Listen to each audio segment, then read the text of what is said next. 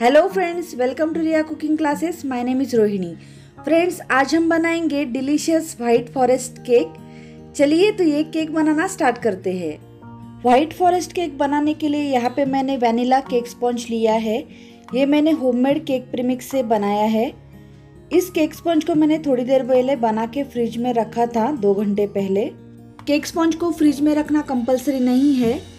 लेकिन अब जब हम केक स्पॉन्ज को फ्रिज में थोड़ी देर रखते हैं तो वो थोड़ा सा हार्ड होता है। तो केक स्लाइस जब हम करते हैं, लेयर कट करते हैं तो थोड़ा फिनिशिंग के साथ कट होता है। अब इस केक स्पॉन्ज को मैं तीन लेयर में कट करके लेती हूँ। ऊपर ये छोटा सा डोम है, उसे मैं लेवल करके लेती हूँ। देखिए, इस केक स्पॉन्ज में कितना मस्त जाली आया है। इस केक स्पॉन्ज को बनाते समय कुछ भी जेल वगैरह नहीं डाला है। फिर भी ये कितना स्पॉन्जी और मॉइस्ट बनता है केक स्पॉन्ज?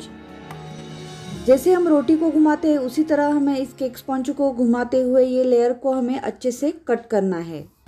ये हमारा कट हो गया फ़र्स्ट लेयर। देखिए कितना मस्त केक बना है जालीदार। अब हम इसका दूसरा लेयर कट करेंगे। स्टार्टिंग में हमें चाकू से मार्क करना है और जहाँ पे हमने मार्क किया है, वहाँ पे हमें चाकू को एकदम हल्के हाथ से पकड़ना है। और एक हाथ से हमें स्पॉन्ज को ऐसे टर्न करना है, रोटी जैसे घुमाते वैसे घुमाना है तो हमारा ये लेयर फिनिशिंग के साथ कट हो जाएगा। तो देखिए, ये हमारा केक का सेकेंड लेयर जो है, कितना थिन कट हुआ है, एकदम परफेक्ट फिनिशिंग के साथ। इस व्हाइट फॉरेस्ट केक के स्पॉन्ज को मैं रोज सिरप से सोप करने वाली हूँ। यहाँ पे एक बाउल में मैंने लगभग एक टेबल स्पून इतना रोज सिरप लिया है। इसका मुझे पतला कंसिस्टेंसी चाहिए तो मैं इसके अंदर थोड़ा सा पानी ऐड कर रही हूँ। अगर ये फ्लेवर आपको पसंद नहीं है तो इसकी जगह पे आप स्ट्रॉबेरी क्रश में पानी ऐड करके वो भी सोकिंग के लिए यूज़ कर सकते हो। फ्रेंड्स स्पॉन्ज के सोकिंग के लिए कौन सा भी फ्लेवर ऐड करना कंपलसरी नहीं है। आप सिंपल वाटर से या शुगर सिरप से भी स्पॉन्ज को सोक कर सकते हो। यहाँ पे ये मैंने विपिंग क्रीम फेंट के रेडी करके लिया है। ये तीन स्पेचुला इतना विपिंग क्रीम है। इसके अंदर मैं ऐड कर रही हूँ white chocolate ganache. White chocolate ganache के लिए मैंने रेशो लिया है थ्री एस टू वन मतलब तीन पार्ट अगर आप चॉकलेट लेते हो व्हाइट चॉकलेट तो आपको एक पार्ट फ्रेश क्रीम लेना है।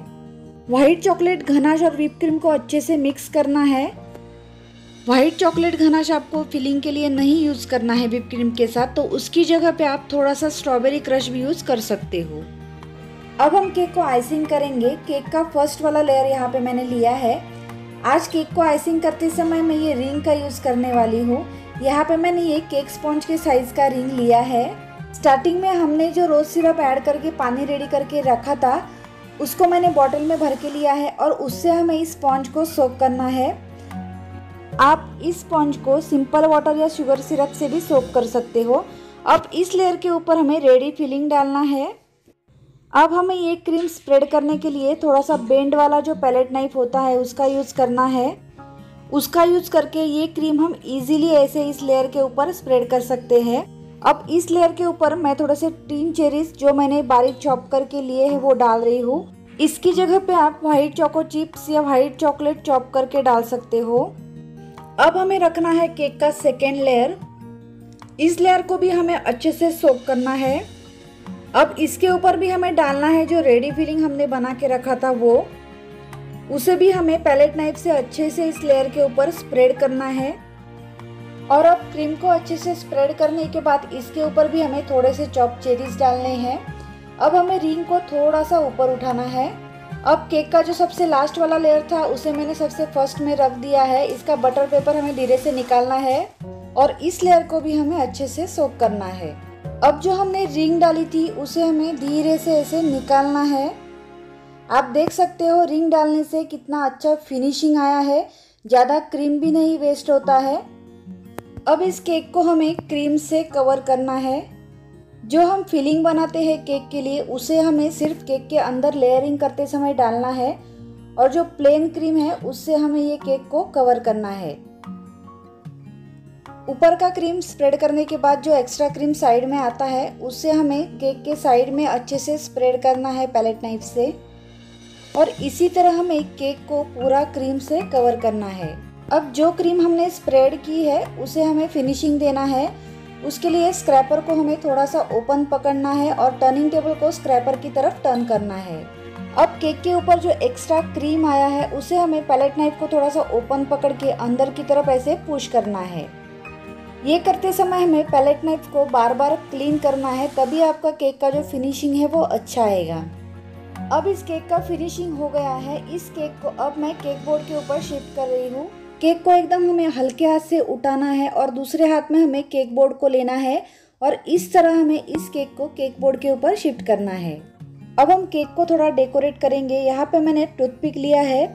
टूथपिक से मैं ऊपर की तरफ़ केक के टॉप पे ऐसे राउंड में मार्क कर रही हूँ, जहाँ पे मुझे डिज़ाइन बनाना है।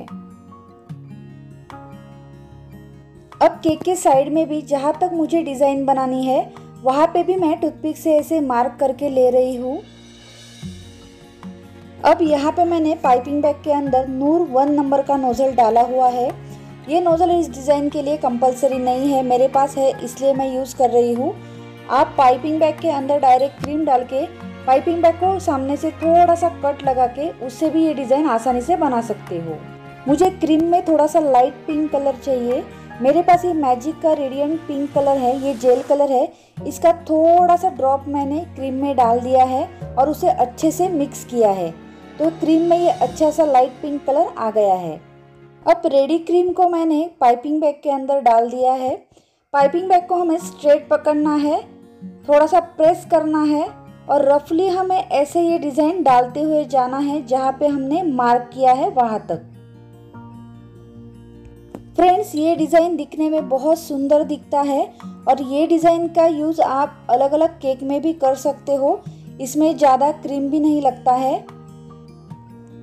मार्क करके लेने से ये डिज़ाइन डालने में भी बहुत इजी जाता है और इसका फिनिशिंग भी बहुत अच्छा आता है। पूरे राउंड में ये डिज़ाइन बनाने के बाद आपको अगर कहीं भी स्पेस दिख रहा है, खाली जगह दिख रहा है तो आप वहाँ ये थोड़ा थोड़ा डिज़ाइन बना सकते हो और ये जगह फिल कर सकते हो। अब यही सेम डिज़ाइन हम केक के साइड में भी बनाएँगे, जहाँ तक हमने मार्क किया है वहाँ तक।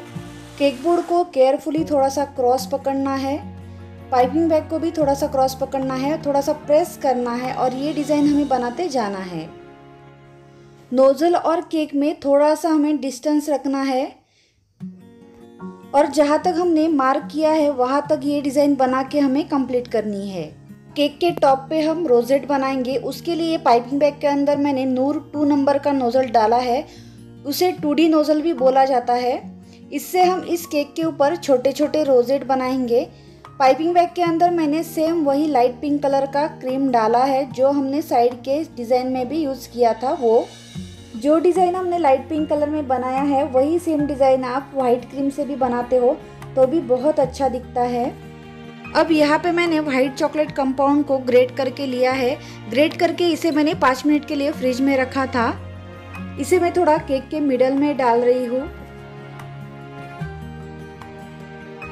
अब ये ग्रेट किया हुआ जो व्हाइट चॉकलेट है, उसे मैं केक के साइड में भी थोड़ा थोड़ा लगा रही हूँ। ये काम हमें एकदम हल्के हाथ से करना है।